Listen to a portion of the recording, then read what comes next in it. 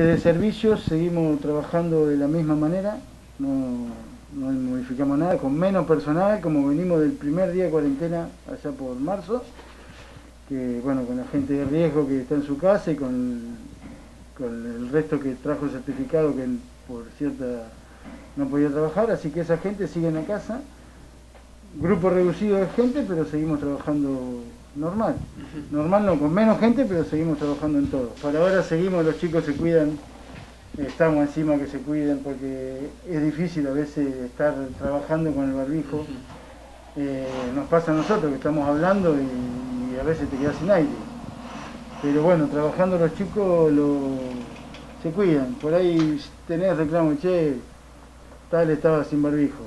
Sí, pero está con la pala cargando tierra y es muy difícil tenerlo está solo. Dejó de cargar tierra, se lo puso.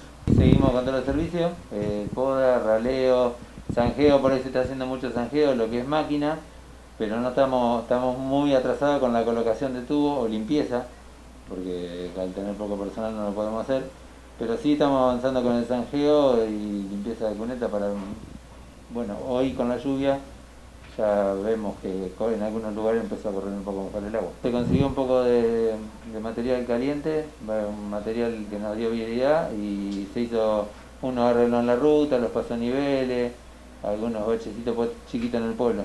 Recolección de residuos igual. Tuvimos anoche que no los chicos los días de lluvia tratamos de no hacer en esta época las calles de tierra porque se rompen. Eh, estamos medio faltos ahí en cualquier momento ya empezamos con, eso. Después, bueno, ramas, hojas, se sigue igual. Eh, ahí que me tocaste ese tema, Luqui, le voy a pedir a los vecinos, eh, aquellos que tengan los, frentes grandes, los parques grandes, que saquen bolsadas las hojas.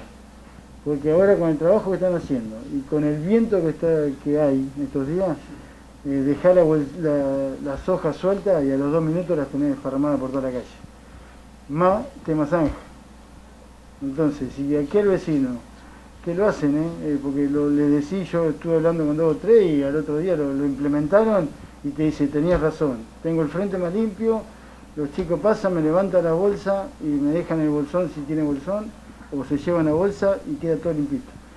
Pedirles eso a los a los propietarios que dejen embolsadas las hojas, más que nada las hojas, que en estos días vuela, el viento, hay viento muy fuerte acá y se desparraban por todos lados las hojas. Se estuvo reparando tres luminarias en el pueblo y ahora estábamos haciendo una prueba en los dos pasoniveles de San Martín y, y Rivadavia, colocando otra luz, una luz de LED para ver cómo, si teníamos mejor iluminación ahí. También se, estuvo arreglando el bacheo en los niveles, que había varios pozos, eh, porque ya estaban peligrosos, así que bueno, como no venían a arreglarlo, lo solucionamos nosotros.